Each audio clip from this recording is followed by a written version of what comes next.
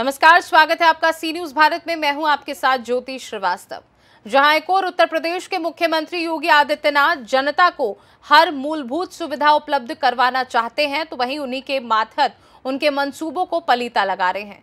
ताज़ा मामला लखनऊ विकास प्राधिकरण से जुड़ा हुआ है, जहाँ तत्कालीन उपाध्यक्ष इंद्रमणि त्रिपाठी का तबादला औरैया जिलाधिकारी के पद पर कर दिया गया है, जिसके बाद लखनऊ विकास प्राधिकरण की सीट खाली थी। जिस पर उत्तर प्रदेश के मुख्यमंत्री योगी आदित्यनाथ ने अपने विशेष सचिव प्रथमेश कुमार को लखनऊ विकास प्राधिकरण का प्रभार सौंप दिया है। एलडीए वीसी का चार्ज लेने के बाद लखनऊ विकास प्राधिकरण के उपाध्यक्ष प्रथमेश कुमार का ये पहला जनता अदालत था, जिसमें वह कुछ समय के लिए ही बैठे। लखनऊ विकास प्राधिकरण में नए उपाध्यक्ष आए हैं। ऐसा सुनकर लखनऊ की जनता यास लगाए अपनी तमाम समस्याओं को लेकर एलडीए पहुँची, लेकिन एलडीए वीसी को सीट पर ना पाकर मायूस हो गई। हालाँकि जितनी देर एलडीए वीसी बैठे, उतनी देर कुछ समस्याओं को सुनते हुए तत्काल जाँच के आदेश दिए। साथ ही पिछले दिनों लगे जनता अदालत में आई शिकायतों को प्राथमिकता देते हुए समाधान करने का निर्देश जारी किया। आशियाना निवासी एक आवंटी ने बताया कि वह 12 साल से अपने मकान की रजिस्ट्री करवाने के लिए एलडीए का चक्कर लगा रहा, लेकिन कोई अधिकारी उनकी नहीं सुन रहा। आवंटी ने आरोप लगाते हुए कहा कि एक बार एक बाबू ने रजिस्ट्री के नाम पर उससे पाँच हज़ार रुपए भी ऐट लिए, लेकिन फिर भी रजिस्ट्री ना हो सकी। वहीं अधिकारियों की अनसुनी के कारण शिकायत लेकर एलडीए की जनता अदालत में पहुँचे रिटायर्ड प्रिंसिपल ने हंगामा किया। नेहरू एनक्लेव निवासी retired principal R N Srivastava ने शिकायत करने के बाद भी समस्या का समाधान न करने का आरोप लगाते हुए हंगामा किया। वहीं जनता अदालत के दौरान हमारे संवाददाता रितेश श्रीवास्तव ने लखनऊ विकास प्राधिकरण में शिकायत लेकर आए कई फरियादियों से बातचीत की। इस समय हम लखनऊ विकास प्राधिकरण में हैं, मौजूद और आज यहाँ पर जनता अदालत लगी हुई है। अगर बात की जाए तो लखनऊ विकास प्राधिकरण के जो अभी तक वीसी यानी उपाध्यक्ष थे इंद्रमणि त्रिपाठी, उनका औरैया ट्रांसफ़र कर दिया गया और अब यहाँ पर मुख्यमंत्री योगी आदित्यनाथ के विशेष सचिव प्रथमेश कुमार ने चार्ज लिया है। वो इस समय लखनऊ विकास प्राधिकरण के उपाध्यक्ष बनाए गए हैं। और आज जनता अदालत की गई है। पहली बार जो वीसी जो चेंज हुए हैं उनके कार्यकाल में ये पहली जनता अदालत है। और यहाँ पर कुछ जनता पहुँची है अपनी समस्याओं को लेकर के। उन्हीं से जानते हैं कि उनकी क्या समस्या है क्या दिक्कतें आपको आ रही है क्या नाम है आपका कहाँ से आए हैं?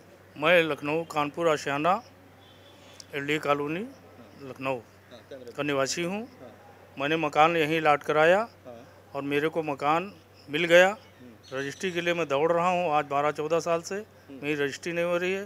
बाबू लोग जो है आते हैं कहें दस हज़ार दीजिए पाँच हज़ार दीजिए पाँच सौ दीजिए हज़ार दीजिए ऐसे ही मांगते हैं। आपका मकान किस जगह पर है? क्या मकान नंबर है आपका? मकान नंबर हमारा 902 है एलडीए कॉलोनी है कानपुर आशियाना में आपके नाम से अलर्ट हुआ था? जी हमारे नाम से। तो उसकी सारी किस्तें जमा है? सारी किस्तें जमा है ओटीएस कराया ओटीएस कराने के बाद में हमने जो है पार पूरा पैसा जमा कर दिया और फिर भी जो है रजिस्ट्री हमारी नहीं तो अभी तक यहाँ पर आप जब आए हैं तो यहाँ पर कई बार जनता अदालत लगी है। तो हाँ। उसमें क्या कहा गया? मैं जनता अदालत में आज पहली बार आया हूँ। अच्छा पहली बार आए हाँ। तो इसके पहले जब आप बाबू लोगों से मिलते थे तो क्या पैसा डिमांड करते थे या जी मांगते थे कि हमको दस हज़ार दीजिए पाँच हज़ार दीजिए। आपने दिया किसी को हम पाँच हज़ार रुपये दिए थे एक बार हाँ। उसके बाद नहीं तो दिए उस बाबू का नाम याद है किसको बाबू का नाम याद नहीं है। चेहरा याद है? हाँ चेहरा याद है। तो उन्होंने क्या कहा था इस विषय ये कहा था हम करा देंगे करा देंगे।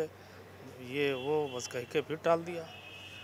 देखिए, ये आशियाना निवासी हैं। इनका कहना है कि इनका 300 वर्ग फीट का एक मकान इनको अलर्ट हुआ था और इन्होंने उस मकान का पूरा पैसा जमा कर दिया। ओ कराने के बाद जो भी उसकी लागत थी, उस उस मकान का उसको इन्होंने पूरा जमा करा दिया। हालाँकि ये 12 साल से चक्कर इस बात का लगा रहे हैं कि इनके मकान की रजिस्ट्री नहीं हो पाई है, जिसके लिए लगातार लखनऊ विकास प्राधिकरण के चक्कर लगा रहे हैं। उनका सीधा सा आरोप ये है कि ये पहुँचते हैं और बाबू इनसे पैसे का डिमांड करता है और कोई पाँच हज़ार, कोई दस माँगता है। हालाँकि इन्होंने, कहा कि एक बार इन्होंने चार या पाँच उसको दिए भी हैं, लेकिन उसका नाम नहीं जानते हैं। तो इस तरीके से लखनऊ विकास प्राधिकरण में ये बड़ा खेल चल रहा है। और भी कुछ पीड़ित हैं, उनसे जानते हैं कि क्या समस्या आ रही है।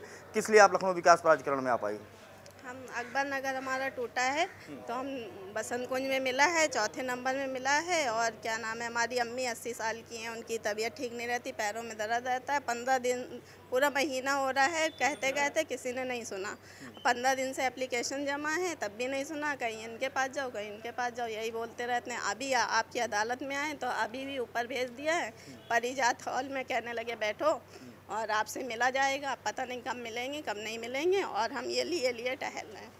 तो क्या मतलब चौथे मंजिल पे दिया चौथे मंजिल पे दिया दूसरे मंजिल पे खाली है वो नहीं दे रहे हैं। किसके नाम से अलाट हुआ है वो? हमारी अम्मी के नाम से रुखसाना। अच्छा तो जो अम्मी के नाम से अलाट हुआ है उनकी उम्र कितनी है? उनकी अस्सी साल। क्या नाम है? रुखसाना। रुखसाना। ये पीड़ित हैं अकबर नगर का, जहाँ पर अभी कुकरेल के पास में जो जो इलाका था, जिसको तोड़ा गया था, वहाँ से इन्हें बसंत कुंज में इनको आवास दिया गया है। इनका कहना यह है कि चौथे फ्लोर पर दिया गया है।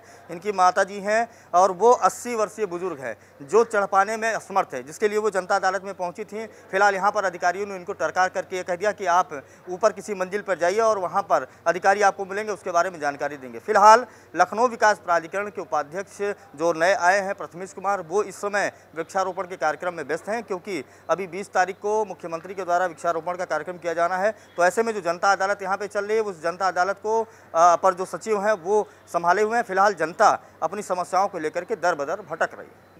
मैं इसलिए आया हुआ था, मुझे प्रधानमंत्री आवास दुबग्गा में सैंतालीस बटे आठ एक मकान आवंटित हुआ है। उसके बगल में एकदम सटे हुए तीन मकबरे बने हुए हैं। जिसके कारण मैं वहाँ पे ना मैं रह पा रहा हूँ ना मेरे बच्चे रह पा रहे हैं। एकदम सटा हुआ मेरे दीवार से है। अब रात में बच्चे डर जाते हैं मेरा परिवार डर जाता है। मैं यहाँ पे तीन चार बार आ चुका हूँ। मैंने कहा इसको हटा दीजिए ये तो एल की ज़मीन पे बना हुआ ये तो अवैध मकबरा है। बार बार यहाँ के अधिकारी लोग बताते हैं अभी हटा दिया जाएगा तब हटा दिया जाए। लेकिन सर अभी तक एक साल हो गया है मेरी समस्या का समाधान नहीं हुआ है। यहाँ पर क्या कहा गया आज? यहाँ पे फिर आज कहा गया पंद्रह दिन में देखते हैं। आज लखनऊ के वीसी साहब हैं नहीं, यहाँ पे आए हैं। नीचे स्तर के जो भी सचिव लोग हैं, वो सुन रहे हैं। लेकिन मैं संतुष्ट नहीं हूँ। देखो पंद्रह दिन में क्या निष्कर्ष निकलता है। लखनऊ विकास प्राधिकरण में नए नए कारनामे सुनने को और देखने को मिलते हैं। अभी हमारे पीछे एक दो शख्स खड़े हैं। उनका साफ़ तौर पर यह कहना है कि 20 साल से उन्हें टरकाया जा रहा है। और किस मामले में टरकाया जा रहा है, ये उन्हीं से जानते हैं कि क्या समस्या रही, किस वजह से आपको 20 साल से लखनऊ विकास प्राधिकरण के चक्कर लगाने पड़ रहे हैं। भाई साहब 2004 में हमारी माता जी को सेक्टर जे अलीगंज में एक मकान अलाटमेंट हुआ एलडीए की ओर से। उसकी किस्तें माता जी ने बराबर एक एक रुपये जोड़ के जमा किया। ठीक है? माता जी ने जमा किया। उसके बाद ये हुआ कि माता जी ऐसा है, ये मकान दो लोगों को अलाट हो गया, तीन लोगों को अलाट हो गया है। यहाँ पे आपका कब्जा नहीं बन पाएगा। हम आपको कहीं और दे देंगे। फिर माता जी ने बहुत प्रयास किया, बहुत दौड़ भाग की, अधिकारियों से बहुत मिलना जुलना हुआ 2011 में एक लेटर आया। उसमें ये कहा गया कि ऐसा है, वहाँ पे तो जगह नहीं बची है, हम आपको बसंत कुंज में दे देंगे। बसंत कुंज में लेटर मिलने के बाद माता जी बहुत चक्कर लगाती रही, पढ़ी लिखी थी नहीं तो उनके जब भी माता जी जाती थी, कोई कहता था, पाँच सौ लाओ सौ लाओ, आपका काम ऐसे कराएँगे, वैसे कराएँगे, बाहर बैठिए।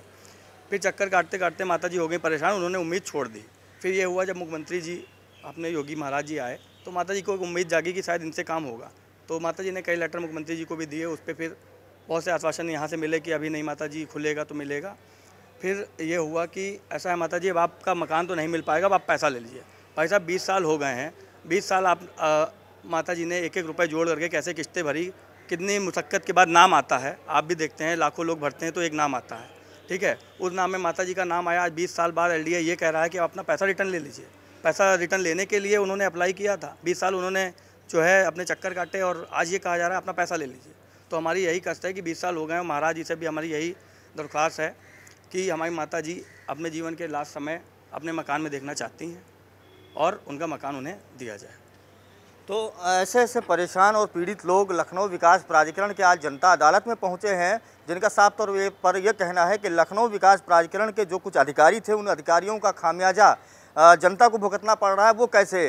कि इनका पहले दोहरा आवंटन किया गया? पहले इनको जानकीपुरम के सेक्टर जे में एक भूखंड जो है आवंटन किया गया, उसके बाद, आवंटन के बाद फिर उसको रद्द किया जाता है, उसके बाद दोहरा आवंटन का कहते हुए बात टरकाते हुए बसंत कुंज में भी दिया जाता है, उसके बाद भी, अब 20 साल के बाद ये कहा जाता है कि आप अपना पैसा वापस ले लीजिए। तो ये किस तरह का न्याय है लखनऊ विकास प्राधिकरण में? फ़िलहाल, लखनऊ विकास प्राधिकरण के नए उपाध्यक्ष प्रथमेश कुमार से इस आस में लोग आज जनता अदालत में पहुँचे हैं कि कहीं ना कहीं उनकी सुनवाई होगी, उनकी जो समस्याएँ हैं, उसको दूर किया जाएगा। फ़िलहाल अब ये देखने वाली बात होगी कि लखनऊ विकास प्राधिकरण के जो नए उपाध्यक्ष हैं, वो जनता के कार्यों को किस तरीके से प्राथमिकता देखते हैं और किस तरीके से उनकी समस्याओं का निराकरण कराते हैं।